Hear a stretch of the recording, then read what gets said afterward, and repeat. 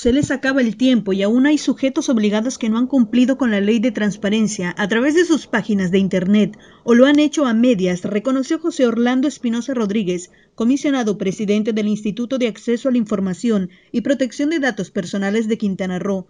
Advirtió que los más de 100 sujetos obligados tienen como fecha límite hasta el mes de diciembre, de lo contrario empezará la aplicación de sanciones económicas toda la información, todas las dependencias deben de estar al 100% a más tardar en diciembre. ¿Por qué? Porque a partir de enero las denuncias ya son vinculatorias. Y en el momento que tú hagas una denuncia y no tengan, ellos ya son acreedores a alguna amonestación y alguna sanción. Las sanciones, lo más fuerte que hay es una multa económica que puede llegar hasta los 120 mil pesos por no tener la información cargada en sus portales.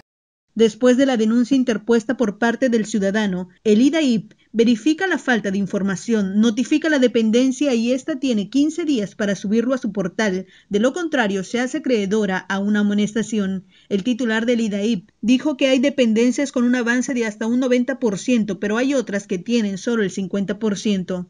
En agosto, a mediados de agosto, terminó la primera verificación diagnóstica donde dijimos que Quintana Roo estaba entre un 50 y un 60%. Ahorita en la segunda quincena de, octubre vamos a empezar la segunda verificación diagnóstica a ver cómo han avanzado los sujetos obligados. Lo poco que hemos visto, sujetos obligados que tenían 20, 30 ya han llegado a 60, 70. Los que tenían 60, 70, inclusive había unos de 75, ya están, ya están más o menos por el 90. Es importante recalcar que eh, ahorita nosotros estamos recibiendo las denuncias que por acuerdo del Sistema Nacional de Transparencia las denuncias no, no son vinculatorias, pero no, este, no eran más que acumulativas. Nosotros le estamos dando todo el seguimiento a la denuncia, estamos dando el, el proceso completo y a la gente que le hace falta le estamos mandando su oficio diciéndoles qué les falta para que lo suban.